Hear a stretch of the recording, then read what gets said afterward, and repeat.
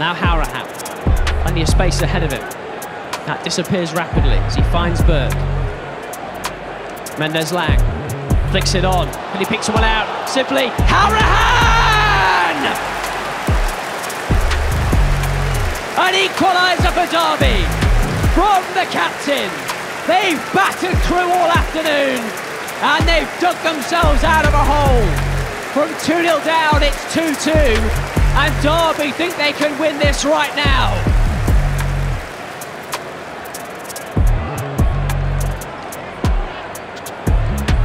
Poor mistake. Here's Weston. Here's Collins. Takes it on first time for a Derby County hat trick. James Collins has three. Derby have three. Surely now they are through to the next round.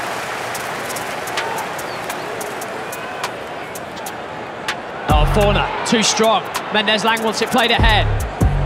Fornah's kept it, continues his drive. Good work from Fornah. Can he pick someone out? Mendez-Laing!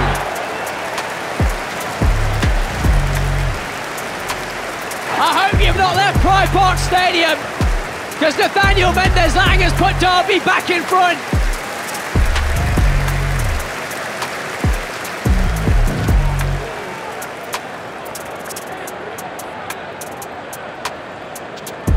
There's no way out for the home side. And here's Mendez-Laing. And here's John-Jules with his first touch!